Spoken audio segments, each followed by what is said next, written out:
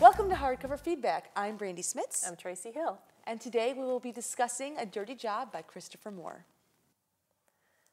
Charlie Asher, a neurotic and anxious hypochondriac who hates change, confronts the challenges of being a widower and a single parent when his wife dies of a freak medical condition on the day his new daughter Sophie is born.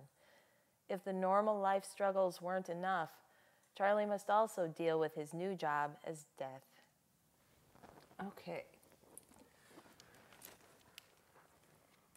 As nap time approached, Charlie looped through the neighborhood and headed up through Washington Square Park, where people were reading and lounging in the shade. A guy played guitar and sang Dylan songs for change. Two white Rasta boys kicked a hacky sack around, and people were generally settling in for a pleasant and windless summer day.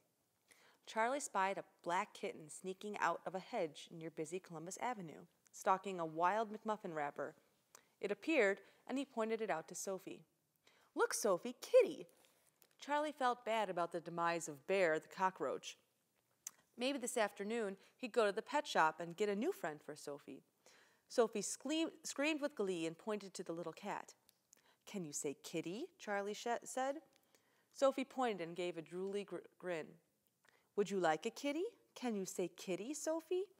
Sophie pointed to the cat. Kitty, she said. The little cat dropped on the spot, dead. All right, so A Dirty Job by Christopher Moore, who apparently, Christopher Moore is like one of the funniest adult authors ever.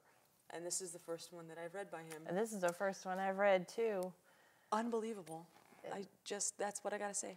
I loved it a lot. See, okay, you started out eager to read it. Is that fair It's got a little skull baby and a bassinet on the cover. Well, I like the cover Okay. too, but I then, looked at it and got excited. But I was leery because it's humor writing, and that's mm-hmm. hard. It is it's hard. really hard to As, do that as well. we as we talked earlier in Solace, Yeah. sometimes it's really difficult for books to be funny, no matter how hard they try. And I read that one first. so I was a little skeptical coming into this one, especially given that the premise could it sounds, you know, the bare bones of it sound really bleak. And, you know, the guy's wife just has their first child and then she dies.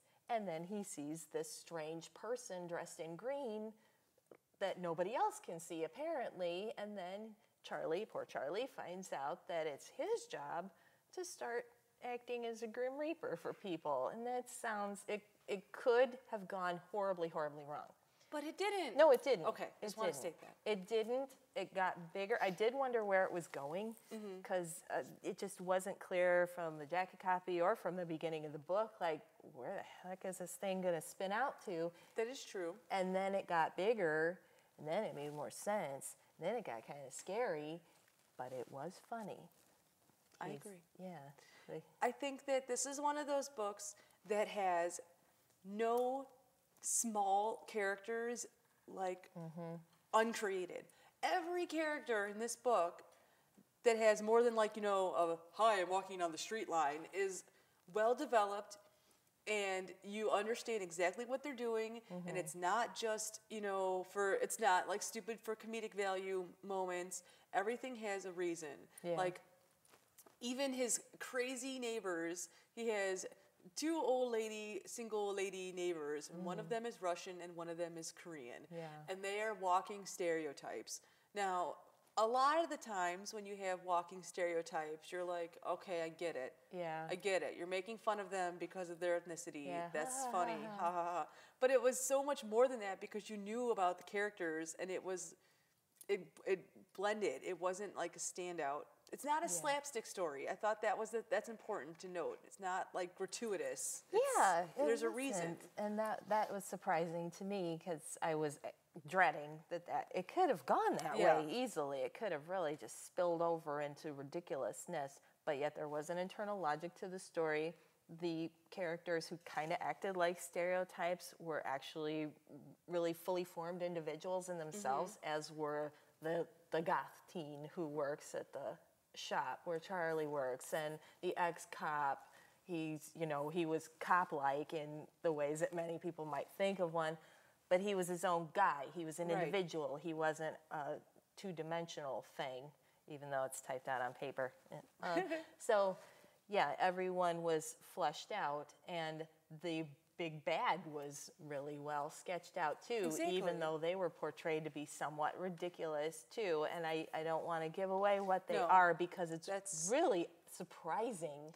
There's a lot of uh-huh. stuff in this book we can't talk about, which is that's the hard part because we want to say more to make you understand why it's so much better, but there's a lot of stuff you just have to roll over yourself. Like you got to you got to take it in yourself. You got to absorb it.